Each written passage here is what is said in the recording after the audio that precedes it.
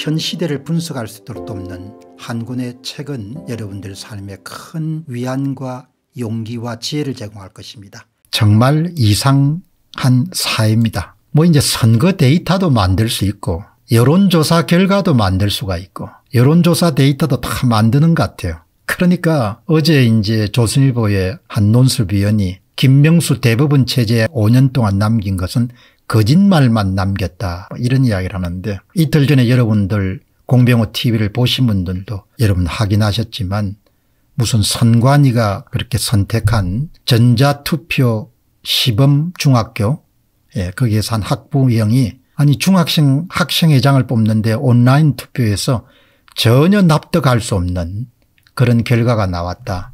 그런 내용 보셨죠. 정말 이상한 나라이자 기이한 나라이자 괴상한 나라가 돼버린 겁니다. 사실과 똥떨어진 여론조사 현실과 전혀 맞지 않는 여론조사 그러니까 여러분들 이런 문제가 다 어디하고 연결되어 있는 거 하니까 선거하고 연결되어 있는 거지 않습니까? 그 참 큰일이 난 거죠. 예, 다들 뭐 돈 벌고 먹고 사는 일에 급급하지만 아무것도 믿을 수가 없는 겁니다. 아무것도 신뢰할 수가 없고 아무것도 믿음이 가지 않고 뻔한 거짓말도 다 그냥 뻔한 거짓말처럼 보이는 여론조사 결과도 그냥 언론들이 대서특필하고 그게 사실이 돼버리는 겁니다. 윤석열 정부에 대한 그런 여론 국정 지지도 여론조사도 도무지 믿을 수 없는 게 많지 않습니까? 어떻게 사회가 이렇게 돼버렸는지 신기하기도 하고 기가 찬 거죠. 여론조사는 여론을 있는 여론을 조사하는 건데 어떻게 보면 여론을 자기들이 만든다고 보는 거죠. 그런 의심을 하지 않을 수가 없는 거죠. 오늘 중앙일보를 보니까 여기 이런 게 나오더라고요. 국민의힘 차기 당대표 적합독 여론조사에서 유승민이 23% 이준석이 16.5%가 나왔다. 이걸 누가 믿겠습니까? 지나가는 개도 웃을 만한 여론조사 결과가 한길 리서치 뭐 특정 여론조사 기관이 아마 특정 언론하고도 연결돼 있을 것 같은데 국민의힘 차기 당대표 적합도에 유승민 23% 이준석 16.5% 이런 여론 결과를 누가 믿겠습니까 이게 버젓이 나와가지고 중앙일보의 이름들이 이렇게 스트레이트 기사로도 실렸을 뿐만 아니고 중앙일보의 한 논설위원은 또 그걸 가지고 칼럼을 썼네요. 참 정말 참 사실을 이렇게 배관시하는 사회가 앞으로 어떻게 어디로 갈지 참 궁금합니다. 그 내용이 이렇습니다. 국민의힘의 차기 당대표 적합도에서 유승민 23%, 이준석 16.5%, 한길 리서치라는 데서 했네요. 이런 결과를 누가 믿겠습니까? 그러니까 그냥 바른 미래당 출신들로 다 채우라는 이야기네요. 이게 여론조사가 제대로 된 겁니까? 그러니까 윤석열 정부가 국정을 전혀 장악을 못하고 있다는 생각이 드는 거죠. 이게 아마 선관위 내락을 받아가지고 나오는 그런 여론조사는 모두 다 공식적으로 선관위의 어떤 허락을 받아야 되는 거죠. 참 기가 찬 겁니다. 두 사람 다 정치적으로 가장 비난받는 사람들에 속하지 않습니까? 그런데 여론조사를 해보니까 유승민이 23%고 이준석이 16.5%가 나오니까 유승민이나 이준석 가운데 신임 당대표를 뽑아라 이런 이야기인가요?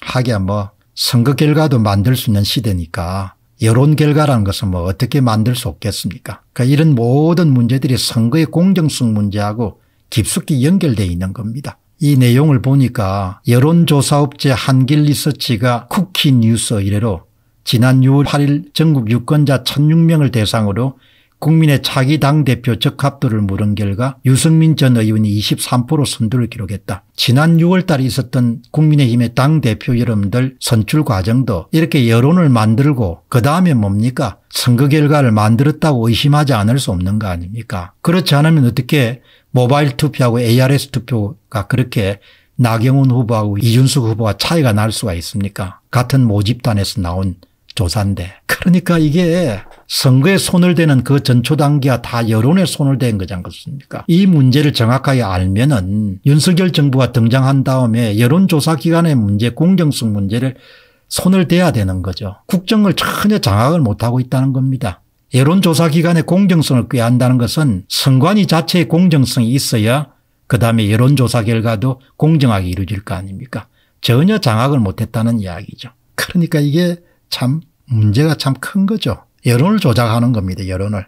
여론조사란 게 뭡니까? 존재하는 여론을 조사하는 거지 않습니까 지금 한국의 여론이 어떻습니까 여론조사기관이라는 것이 특정 기관의 이름들이 제공한 의심스러운 표본 조사를 통해 가지고 표본을 통해 가지고 선출하니까 기본적으로 추출하니까 여론조사 결과 전혀 현실과 다른 결과가 나오지 않습니까 이준석 전 대표가 16.5% 안철수 의원이 13.4% 나경원이 10.4% 주호영 의원 5.9% 김기현 후보가 4.4% 이렇게 나오는 겁니다. 이걸 누가 믿겠습니까 이런 걸 보고 저는 무슨 생각이 떠올랐는거 하니까 아 지금 이 사람들이 여론조사 업체의 이름을 걸고 여론을 조사하는 것이 아니고 여론을 만들어내고 있지 않는가 그런 강한 의심을 가지지 않을 수 없는 거죠. 여론을 그냥 만드는 겁니다. 그냥 여론을 제작하고 여론을 생산하는 겁니다. 이걸 누가 믿겠습니까 지금. 각 신문의 주요 신문의 여러분들 이 기사가 난 다음에 댓글을 보게 되면 은 엄청나게 두 사람들에 대해서 반감이 많지 않습니까 그런데 어떻게 뭡니까 유승민이 1위고 이준석이 2위고 이런 이야기가 어떻게 나옵니까 하, 정말 참 대한민국 정말 뭔가 정직한 데를 찾을 수가 없으니까 거짓이 있는 것을 찾을 수 없으니까 그렇게 선거에 혼이 났으면은 그 선거에 혼이 난 전초정 단계가 여론조사 기간인데 권력을 장악하게 되면 여론조사부터 공정하게 치러지도록 뭔가 조치를 취해야 되지 않습니까 어리버리 어리버리 해가지고 뭘 하고 있는지를 모르겠어요. 한심하다는 생각이 드는 거죠.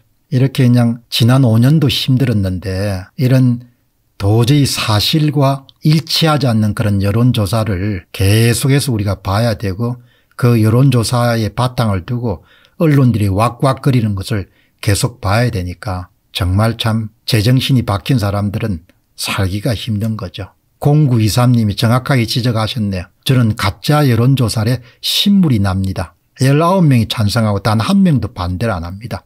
0923님 이야기에 저는 100% 동감합니다. 가짜 여론조사에 신물이 납니다. 여론조사 업체란 이름으로 가짜 여론조사라고 의심받을 수밖에 없는 결과를 내고 그것을 신문들이 대서특필하고 그렇게 해서 뭡니까 정치에 영향을 미치고 이게 말이 되냐고요. 킴님은 더불어민주당 지지자들만 응답한 모양입니다. Y님은 여론조사를 수행하는 공적인 기관을 만들든지 해야지 지금의 여론조사 업체에서 하는 여론조사는 세몰이나 여론조작을 위해 하는 게 아닌가라는 생각이 강하게 듭니다.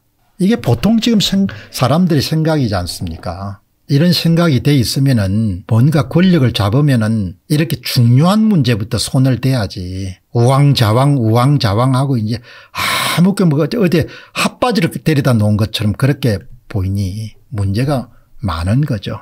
이렇게 해서 여론을 만들고 만들어진 여론을 가지고 언론을 조작을 하고 언론을 조작하고 난 다음에 선거 결과도 영향을 미치고 그렇게 아주 해왔지 않습니까? 일단 그게 옳은 일이 아니지 않습니까? 한길 리서치란 기관이 얼마나 신뢰성이 있는지 모르겠는데 지금 샘플 1006개를 어떻게 선택했는지 모르겠는데 국민의힘의 당대표 적합대 유승민이 1위고 이준석이 2위라고 그런 허연 거짓말을 어떻게 합니까 어떻게 그걸 믿을 수가 있겠습니까 거기다가 한길 리서치 외에 또 다른 데서 우달라 들으면은 그러면 그걸 또 기정사실화 해버리는 거죠. 거짓을. 정말 참 다들 거짓을 좀 안 봤으면 좋겠는데 너무나 뻔한 거짓을 사실로 만드는 것이 공공연하게 그렇게 실행이 되고 있으니까 그냥 귀 막고 눈 막고 살면은 뭐 크게 문제가 없겠지만 제정신을 갖고 살고 사실과 진실을 중시하고 옳은 일을 위해 가지고 뭔가 일들이 이루어져야 된다 이렇게 생각하는 사람들은 정말 힘든 거죠. 이런 걸 보고. 말이 됩니까 오늘 여기에 녹색 장군님 말씀하신 것처럼 뉴스 시작할 때마다 여론조사 결과를 발표하고 여론조사가 그렇게 중요한 탑 뉴스입니까 흔히님은 이준석이 당대표 선거 때도 언론과 여론조사 기관이 폭풍으로 쌍거리에서 당선시켰지 않습니까 그렇지 않습니까 그러니 얼마나 참 깨어있는 사람들은 힘듭니까?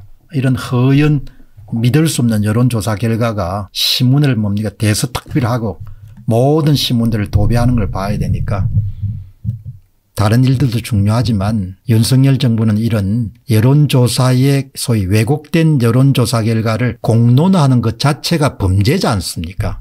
공정하지 못한 여론조사를 한다는 것은 그게 범죄죠.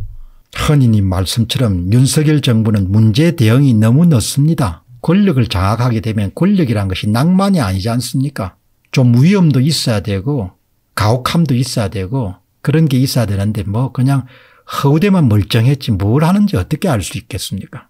어떻든 허연 여론조사 결과를 여러분에 소개해 드렸는데 분위기가 심상치 않네 이런 식으로 그냥 온 전신의 여론을 그냥 만들어대기 시작하니까